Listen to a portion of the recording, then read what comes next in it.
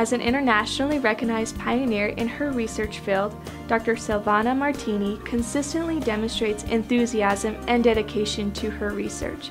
Transmitting that enthusiasm to her students, she strongly encourages them to participate in research activities locally, regionally, and internationally.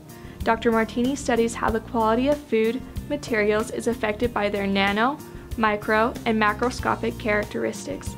As a world leader in this field, she consistently provides her time and expertise to her colleagues and students.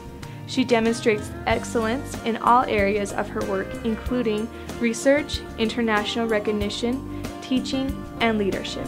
To honor her commitment to research and development, the College of Agriculture and Applied Sciences is pleased to present Silvana Martini with the 2016 Faculty Researcher of the Year Award.